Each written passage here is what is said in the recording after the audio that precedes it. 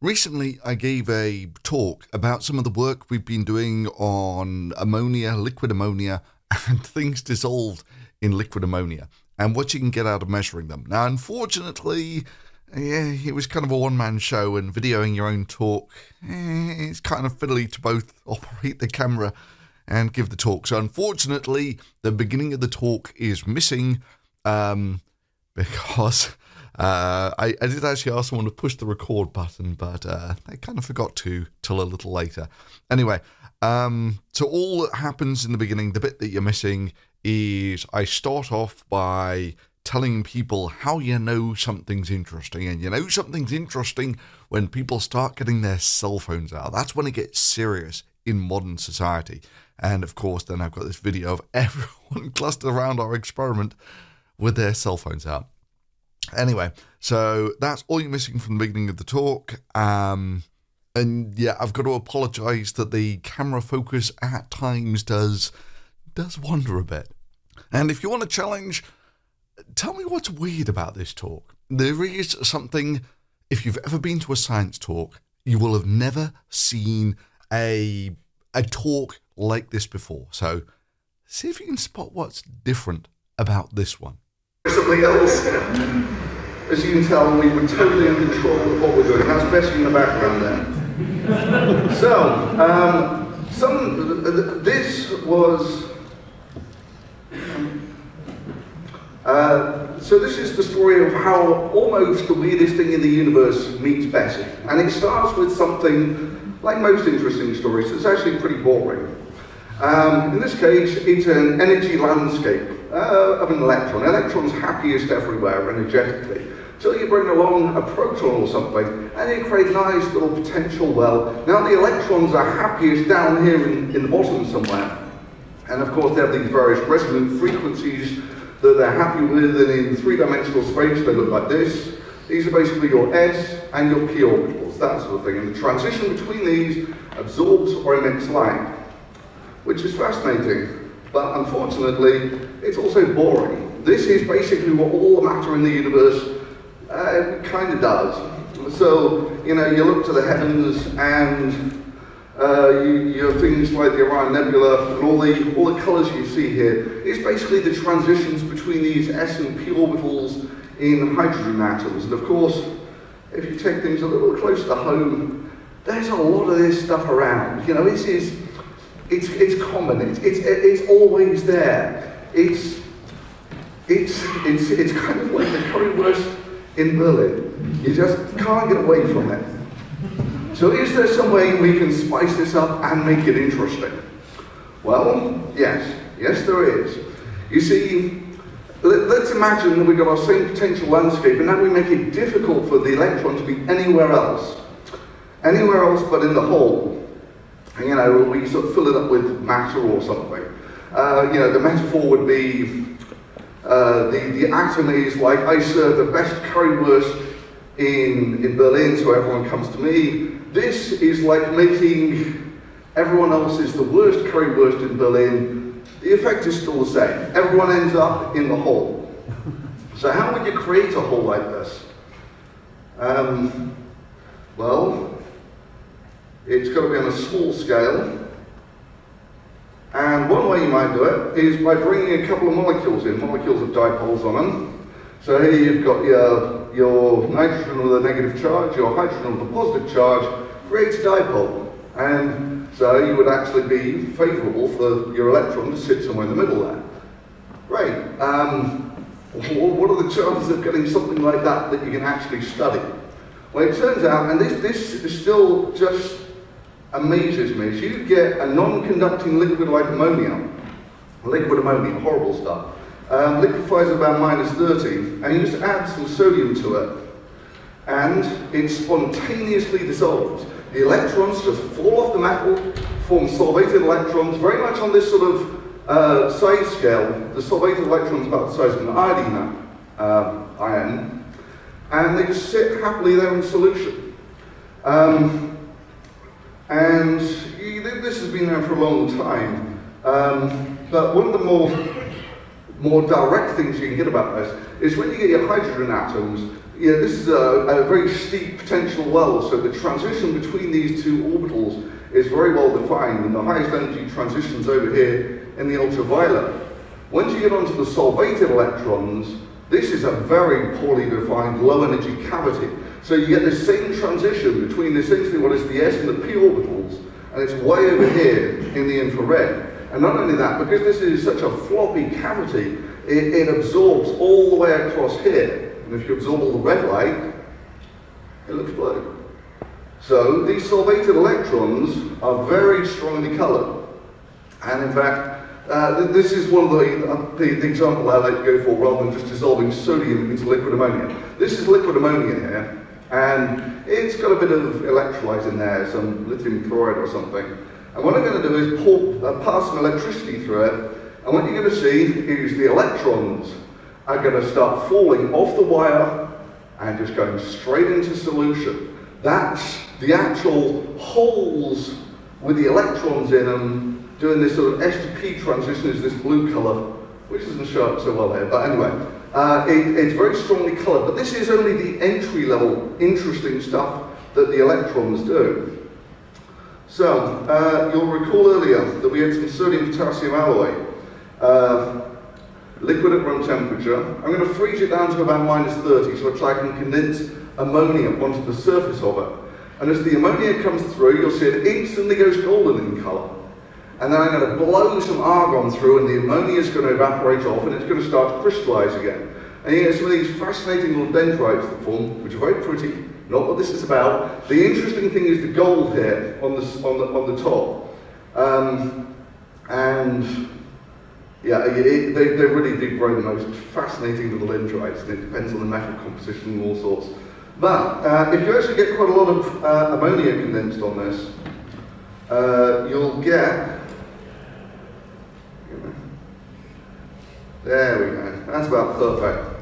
You get some of the low concentrated solvated electrons. This is where the electrons are essentially just sitting there, isolated in solution with this blue color. And here it's much higher concentration. This is some sort of weird hybrid metal, non-metal thing that uh, it, sodium is a metal, fairly decent conductor. Ammonia, non-conducting. Once you get up to this gold solution here, this conducts about as well as silver. It actually conducts much better than either uh, sodium or certainly the ammonia. So, this is now an interesting topic of study, and someone says we've got to measure something about the, the, the potential landscape uh, of these electrons. Um, and enter Actually, something that someone might be more familiar with, this is for photoelectron spectroscopy. And we're going to be doing it on liquids. These are liquid microjets. They're about the size of a human hair. Kind of fiddly experiment to do. Uh, and you've got to get, you've got to hit that with an X-ray beam, also about the size of a human hair. And then you get some electrons off from that, and you measure the energy of those electrons in, in your photoelectron spectrometer. And that tells you something uh, about the landscape of the energy, uh, the energy landscape of what you've, the electrons you've knocked down. Now, ammonia is interesting stuff. That's actually liquid ammonia. Looks very much like liquid water. It's got a lot of the same properties of liquid water. If water was evil, Right? This is, it's just horrific stuff to deal with. It, it's, it's cryogenic. It, it, it, liquefies about minus 30. All your taps don't start sealing anymore and all that sort of thing. It smells quite bad. Um, but you know, after a while, you sort of master the minor technical challenges, and eventually you can. We, we, we did it. We got a, a liquid microjet of ammonia, and um, so th these are some of the technical challenges you've got to cover. So this is formed at about 100,000 frames per second, and these are the, you know, the 100 micron size jets. So you see they break into droplets. You've got to do all your measurements here somewhere before it breaks into droplets. When it breaks into droplets, you get these weird charging properties that completely screw up your, your energy measurements. So it, it, this is one of the fiddly things you've got to deal with. And the next one, you have no chance of seeing. But uh, this is, as you apply the vacuum, it starts nebulizing sooner and sooner. It, So, you know, spraying a nice volatile liquid that boils at minus 30 into a vacuum chamber is, is challenging. Nonetheless, we did actually manage to get it to work. And this is the photoelectron spectrum of knocking the easiest uh, electrons off ammonia. So what's our ammonia actually look like? Well, we've got our liquid ammonia, stuff we're interested in, and gaseous ammonia. And we've got two peaks here. Those two peaks correspond to two slightly different energy potential wells. The deeper one, uh, obviously this is the deeper energy well, it takes more energy to knock this guy out. This guy is slightly shallower, um, and is the other peak. And basically what you're looking at is this is the gas, this is the liquid. Um, you don't pay too much attention, by the way, to the size of the peaks here. Peak shape is much more important. That tells you something about the energy profile of the cavity you've knocked the electron out of. Um, so, that, that, that's great. We've now measured our ammonia, and we've knocked some electrons off our ammonia, and we managed to do it for liquid ammonia. This is a good first step. But what we are really interested in is doing the electron solvating, right? Uh, the, the electron in this, in this cavity. And again, you run into the technical challenges. This is difficult to do. The blue solution, uh, once you get into this, this inherits many of the properties of the sodium that you dissolved in there to make it, which means it's phenomenally air sensitive. Spray the stuff into air, it'll quite happily catch fire. But the thing that, that, that's most important here is you've got to get all of this out of a 100 micron nozzle. Even the slightest impurity in any of this, the nozzle clogs, the experiment is over. So doing this is hard. This is almost impossible. This requires miracles. Um, but, oh, and also, yeah, uh, aluminum seals. Uh, this stuff eats PTFE, any chlorinated plastic, forget about it. So things that you normally associate with being nice and stable for your kit, the rules change once you get into this stuff. Nonetheless, we did actually manage to get it to work. So that's actually our gold jet, and that's the hole which the, the photoelectrons are going through to the spectrometer behind it. So this was about 3 o'clock in, the in the morning. The gold jet. Um, and what, what we're actually going to see here is it actually being measured on the spectrometer because uh, when it comes together, it, you, have got to keep the golden moments. This, by the way, is all handmade. Um, and there's a great army of people here, very fresh at 3 o'clock in the morning, as you can imagine.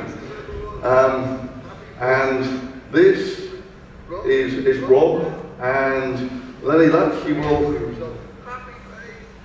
Lots of happy people. and that's it, that's it. That's it actually coming off the spectrometer. I'm not making this up. Right? So, as you can see, uh, right, so um, we have our ammonia, and we have our two peaks for knocking the electrons off ammonia, one for the gas, one for the liquid. We have our blue solution, which looks mostly the same, um, and this is for our solvated electrons. So where the hell is it? Well, it's there. You might have to squint for this one. Um, now, it might, it might not look terribly big, but you don't really expect it to be terribly big. If you think about it, these are the electrons on every atom in the system. This is a dilute solution. You don't expect there to be a lot of signal there. And if you blow it up, and this is another pain in the ass, you've got to keep these things running for half an hour at a time to actually get these measurements quite fiddly to do, but nonetheless, it is possible.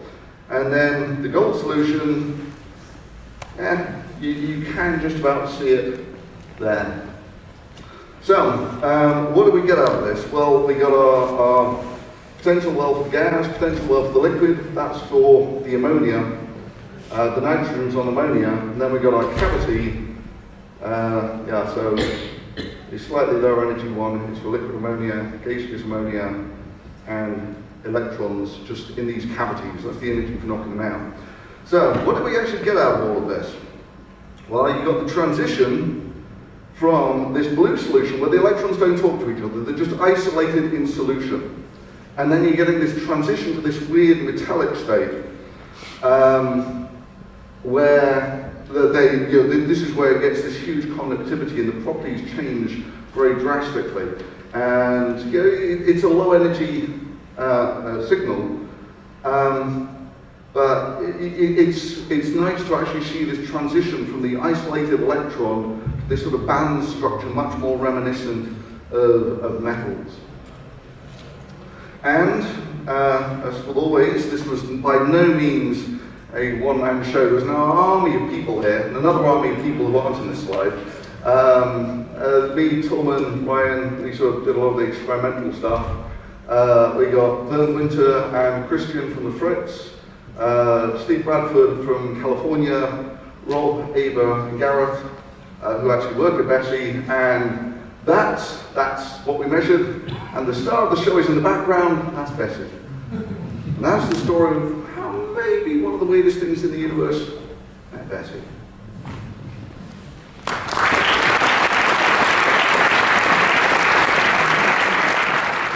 And for those of you bursting to know, what was so different about this talk? Well, there were almost no words on any of the slides. So it's always been kind of a beef of mine that uh, people tend to have uh, slides, especially in science talks, slides that have like 10 times too much information on them. And not only that, there's just way too many words, you know, great passages of words of which you have zero chance of reading, especially if you're trying to listen to the guy giving the talk at the same time. So it's my personal preference that uh, you really ought to be explaining things and having stuff written there on the slides, especially if there's lots of it, just acts as a distraction in science talk. So that's just my personal preference. So it's basically no words on any of these slides. Almost the only direct words in the entire talk were boring and interesting. But it's one of those weird things that if no one actually had pointed it out to you, would you have actually noticed? Many thanks for watching and uh, see you next time.